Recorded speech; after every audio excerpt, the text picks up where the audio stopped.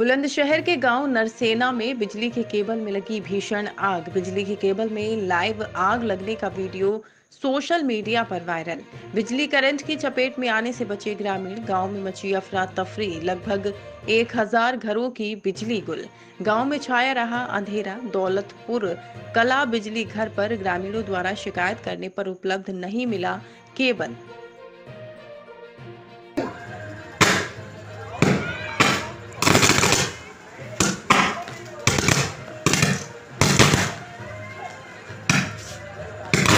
बानोटी आ रही है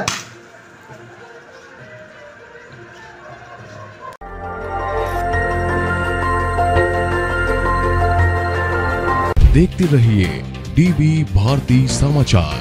नज़र हर खबर पर।